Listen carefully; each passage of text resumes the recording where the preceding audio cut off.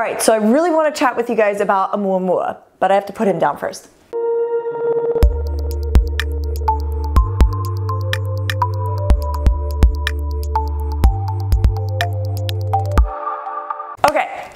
The reason I want to talk to you about Oumuamua is because I got a few of my friends actually sent me um, a link for Oumuamua and some new research that came out recently. Now, I am a big skeptic when it comes to um, specific claims when it comes to space travel and flying objects and all this other fun stuff, right? I mean, it's not identified for a reason. Like they're not able to identify it when it's a flying object, hence the name UFO.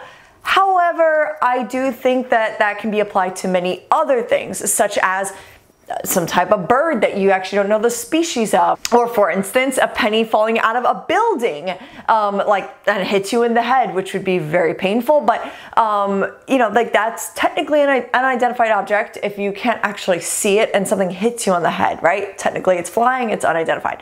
So, Oumuamua um, I actually spoke about a few weeks ago on the Tomorrow Show, which I do every Saturday at 1800 UTC, and I chatted about um, how some new research showed a mass loss rate of Oumuamua, implying that it had a form of a tail, which meant also that it was a type of a comet. So that's my classification of what Oumuamua is. It's either some type of asteroid or comet.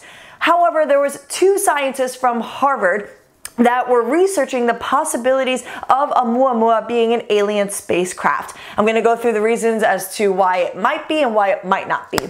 One of the reasons why it might be is because Oumuamua uh, is the one of the first objects that we've actually observed and, and have seen enter our solar system from outside of our solar system, meaning out in interstellar space somewhere. So outside of our solar system, you know, our little solar system right here. So anyway, so Oumuamua came from somewhere outside of that. Now the reason that these two Harvard researchers think that Oumuamua might be some type of alien spacecraft is because they noticed that it accelerated, this object accelerated when it passed by the sun.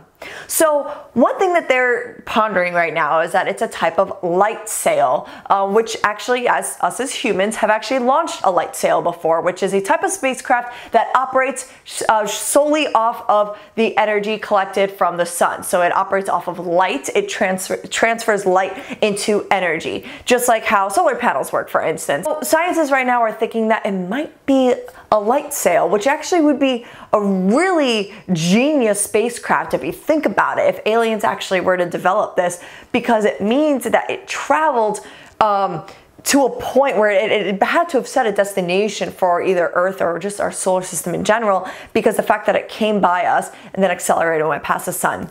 Now, this thought makes me want to tie in the probability of intelligent life existing beyond Earth. So, I want to touch on the Drake equation, but first I just want to throw some numbers at you guys. There's around 2 trillion galaxies in our universe. Like at least for now that we figured out. We I feel like we're going to end up discovering more very soon because before that we only thought there was around 400 to 500 billion galaxies. And then Hubble Deep Field happened and you were able to see so many more galaxies. It's beautiful. But for the Drake equation, we're just going to be focusing in on our Milky Way galaxy alone. So the Drake equation really looks at how many stars might be having planets orbit them, how many of those planets might have potential for life, and then how many of those planets might have the potentiality for intelligent life because it's important to find life I think anywhere in the universe. I think it would be really interesting and very, very uh, helpful for science. But the goal to find intelligent life is something completely uh, uh, changing when it comes to our perspective in, in the universe. Um, actually, I, around 54% of Americans um, believe that there's some type of intelligent life elsewhere in the universe. And that's really cool to think about because it means that there's this confidence in knowing that if you look at the broad scale of our universe and how many stars and how many planets there are, there's a pretty big chance that there's other life out there that's maybe talking just like you and me, or well, me to my camera. But um, you know, it's it's it's such a strong possibility. So the first part of the Drake equation that I want to talk about is actually of relatively recent research, which actually comes from Kepler data. It's really really cool, and it says that one in every six stars in our Milky Way galaxy hosts the potentiality for a hospitable planet orbiting it. So one in every six stars most likely hosts a planet that can hold life. That's crazy. That means like Earth. That means you and me. That means a planet that actually can have an atmosphere, can have a life forming, can have biology. One in every six stars just in our Milky Way galaxy alone, which is just mind boggling because if there's two trillion galaxies in the entire universe, you can do the math. That's insane. That's crazy. Actually, let me do the math. What they mean by this is that it's some type of planet that's similar to Earth in size and orbits close enough to its star where it actually can harbor life, where it's found in the habitable zone. And that's actually about 4%. And then you have about 5% um, of these, of these uh, planets orbiting these stars are probably around a super Earth. So that means that one in every 100 million star systems host the potentiality for life. Now the thing is, the average distance between stars in our region of the Milky Way galaxy is about 4.2 light years. For instance, Proxima Centauri is about 4.2 light years away from us. So to get to any of these systems might take a while. I mean, you think about it, getting to Mars is about 300 days and if you had to get to somewhere else like Proxima Centauri, you'd have to travel at the speed of light and you'll get there in 4.2 years. Um, but you know, again, this ties kind of into quantum teleportation, as I like to mention a lot of times in my videos, because I really think that we should achieve interstellar travel one day, um, but it's going to be quite difficult. It's going to take a lot to do it. Um, I'll get into that in another video. To conclude, a lot of these systems are relatively far away right now, but if you look at it on a cosmological scale, um, 4.2 light years is actually one of like our closest neighbors, um, as opposed to looking at the scale of our Milky Way galaxy, which is 100,000 light years in length. So it's not that far. Um, but if say there was a, a, like a very intelligent um, alien civilization, maybe they sent Oumuamua. Maybe Oumuamua is a light sail.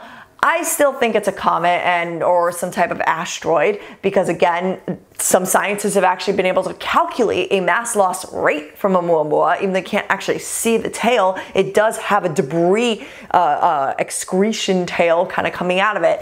Um, so I wouldn't really say that it's actually uh, an alien spacecraft, but I think it's an interesting thought. And if it was actually an alien spacecraft, like, how do you think we'd all react?